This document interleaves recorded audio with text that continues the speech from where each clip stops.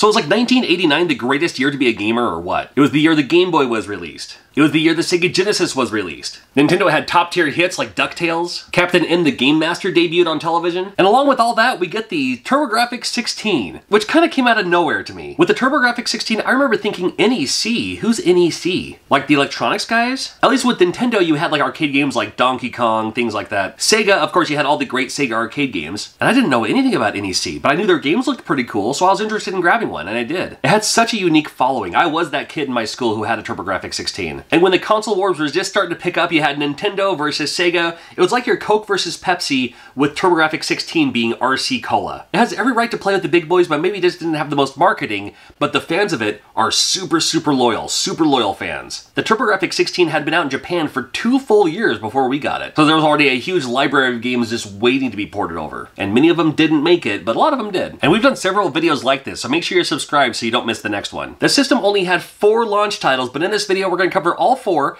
as well as all the other Turbo Chip games that came out for the TurboGrafx 16 back in 1989. Starting with Keith Courage in Alpha Zone. Well, Keith Courage in Alpha Zones was the pack-in game. This was the game that everybody played because it was the game that it came with. They could have used a better pack-in game, but you know what? Something's better than nothing, so here we are. And it wasn't the fact that it was just terrible. I mean, it really wasn't terribly bad. Kind of give you that little side-scrolling, a little bit like a Monster Boy-ish. You know, you're going around, you can hit the other enemies, collect your coins, you can go inside these doors, they're going to help you out or build you up or whatever. These town stages are pretty small, and it's interesting to note that these town stages can also kill you, hurt you. because there's like enemies and there's, you know, traps that you can fall into and stuff. As you're slowly moving along, then that's when you can get your giant robot thing. And then you're in these stages where you're using your giant sword to defeat these other enemies. And these stages are not very creative. They just kind of go down and you just keep moving, then you go down. You move to the other side, you go down, you move to the other side, go down, move to the other side. You fight a boss at the end of all this eventually. And then, what do you know? we move on to the next stage. Keith Courage and Alpha Zones, the pack-in for the TurboGrafx 16. Again, not a terrible game. Eh, they, they just could have done something better.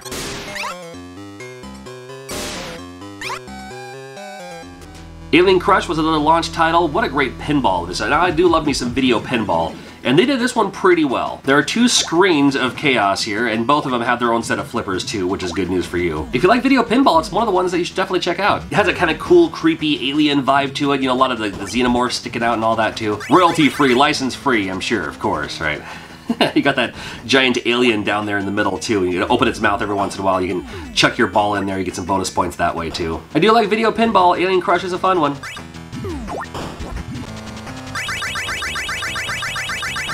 We have the Legendary Axe, and in my opinion, the Legendary Axe should have been the pack-in. This one reminds me a lot of uh, Rastan, maybe more than anything else. I don't know, maybe it's just because like the, the vine climbing or something, I'm not sure. It's just, I mean, you can also build yourself up and build your power up and everything too, but pretty decent title too with the Legendary Axe. It's one of the original TurboGrafx 16 games. It's one that a lot of people still go back to, and for people who grew up with the TurboGrafx 16, it's one that a lot of them uh, held as, you know, one of the best ones on the system. I think it's okay. I don't know if it's one of the best ones, but I think it's I think it's worth checking out for sure.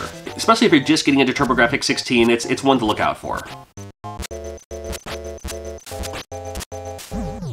Victory Road is a pretty decent driving game. Not so much of a racing game like Racing Game, but kind of like an outrun driving game. It does give you a lot of customization for like how you want your tires, how you want your body, how you want your gears. The thing is, you need to have, give yourself enough gears so you actually switch it into gears because you're also manually changing gears. in the game. If you don't have enough don't have enough gear power, uh, then you may only go into uh, go into third gear. You go try to go into the fourth gear, it won't go anywhere. well, it'll end up dropping speed. Kind of fun how it changes, you know, the, the day cycles and stuff like that too. It's a driving game, and it was done pretty decently on the TurboGrafx 16. It's called Victory Run.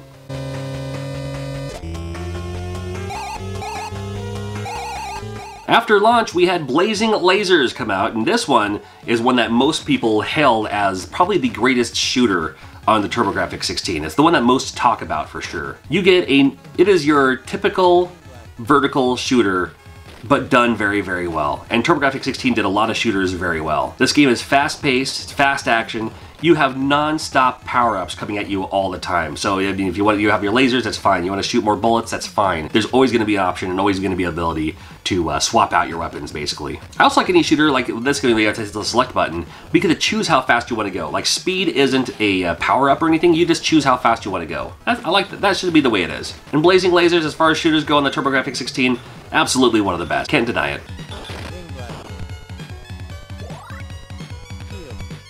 In China Warrior for the TurboGrafx-16, it's one of the worst. It's... well, I shouldn't say that. But it just looks like somebody made this game with Macromedia Flash back in 2004. It's honestly not good. I mean, this is one of the games that came out even a couple years prior, so it really dates itself. It's like, hey, here's, you know, 1989 video games. Yeah, I'm all about them. But then here's a game that came out, you know, a couple years ago in Japan. And ported it over. Well, you know, some kid's grandma got this for him for Christmas and they had to like act surprised and I'm not sure. Look, at big old boss fight, look at this. Ah, he got me. All right, Dungeon Explorer, that, that can wash the taste out of our mouth. Dungeon Explorer is a really great game. It's the answer to Gauntlet. It's TurboGrafx 16's answer to Gauntlet, and they've had Dungeon Explorer for other consoles too. For some reason, I really associate this game as a TurboGrafx 16 game though. Lots of places to explore, you get to choose like what, you know, uh, what guild you are, whatever the, you know, what class you are, I guess you could call it. Super fun idea on this one. I do love me some Dungeon Explorer. Got the boss fights and everything. It might get a little confusing. It's like, you know, the upstairs, the downstairs, wherever you going, what were you in the middle of doing, what's going on. When in doubt, grab some Dungeon Explorer. Super fun.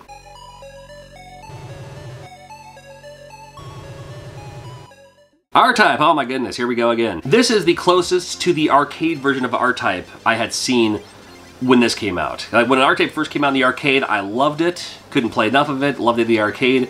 They had it for the Sega Master System, it, eh, it was okay, but not great. It never came out for the NES, unfortunately, but it came out for the TurboGrafx 16, and this was, man, it, it may as well have been the arcade game to me. I loved it. I've never been good at it because it's a one-hit kill, and it's, I mean, it just gets too hard for me.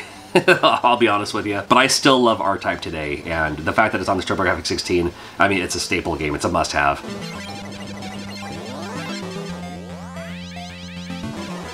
Vigilante available as well for the TurboGrafx 16. You ever play Kung Fu, like for the NES or even in the arcade? Remember Kung Fu?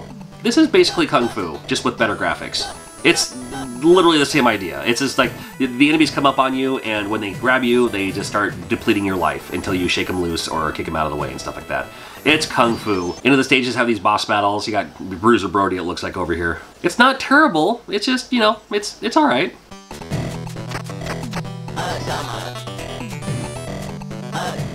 Fantasy Zone, we got a Sega game on the TurboGrafx 16. Now they had this for the Master System, they had it for the NES through Tengen, uh, now they have it on the TurboGrafx 16 as well. Hey, why not? I love Fantasy Zone, it's a great game. If you've heard of it, but you're not really familiar with it, the whole level loops itself. But you have to find these little like enemy bosses, like these enemy depots in a way, and destroy them. And in by destroying them, that's when the boss will come out. But it's just cute because I just love how the I love how the colors look. I love how the music is. The enemies are pretty cute, you know, as they can be. You defeat all the little enemy pods, and then you uh, do a boss battle at the end too. You can also go into shop and use that money to buy upgrades and weapons and stuff like that. It's just a fun game. And on TurboGrafx 16, plays very, very well.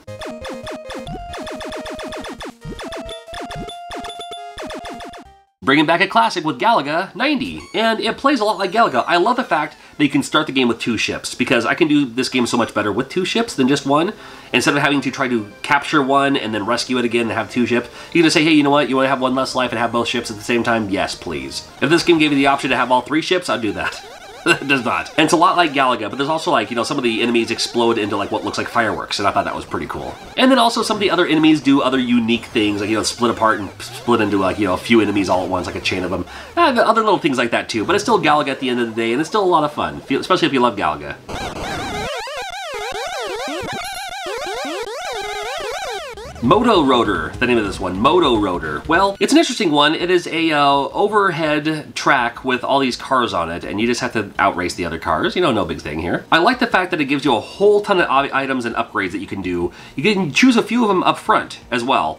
Uh, but then the, when you win races, you'll win more money or earn more money to uh, get better upgrades as well. You'll always see the same cars on the track. If you fall behind, it will jump you forward. You don't want to do that too many times, but that's, you know, you just, that's how you stay on the track. That's how you have to know what kind of engine to get or, you know, if you need better tires or whatever it is. It's a little slow moving, but I mean, it was kind of interesting to see all the same. Moto Roader is the name of this one. It's kind of an interesting name on this one. Moto Roader, huh?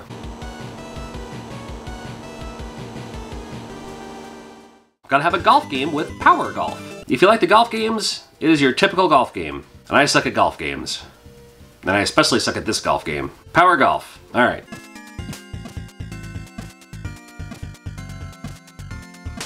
Sidearms from the arcade to your TurboGrafx 16. You get your two buttons, one shoots in front of you, one shoots behind you, one shoots to the left, one shoots to the right, uh, making it real easy for you to shoot, uh, choose which way you want to shoot.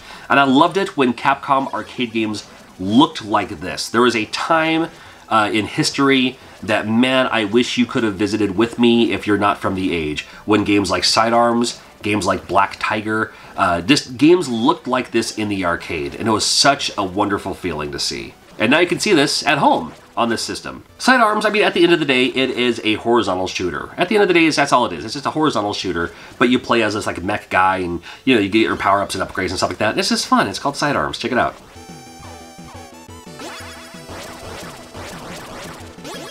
World Class Baseball, do we gotta? Well, we have the unlicensed teams, and I'll give it to this game too. When you position yourself up to bat, you don't just kind of slide around. You actually, your feet actually kind of pivot to where you're going to stand. So, those things. And then, at the end of the day, it is a baseball game.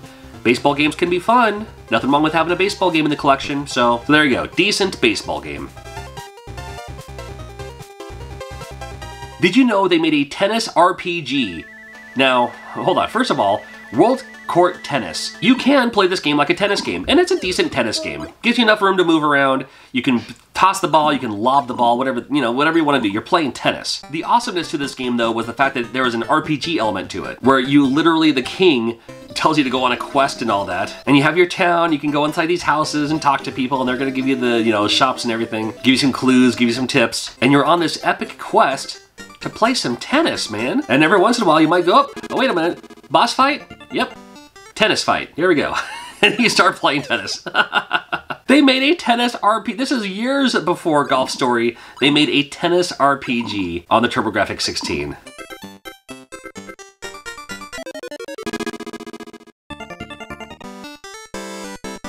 And they did the same thing with a racing game later on too, but we'll talk about that video when that year comes around. Show the TurboGrafx 16 some love, would you? I would love it. I'm a huge fan and thank you for watching and we'll do more consoles through more years and a whole lot more games coming up very soon. Make sure you're subscribed. Got another video coming out real quick.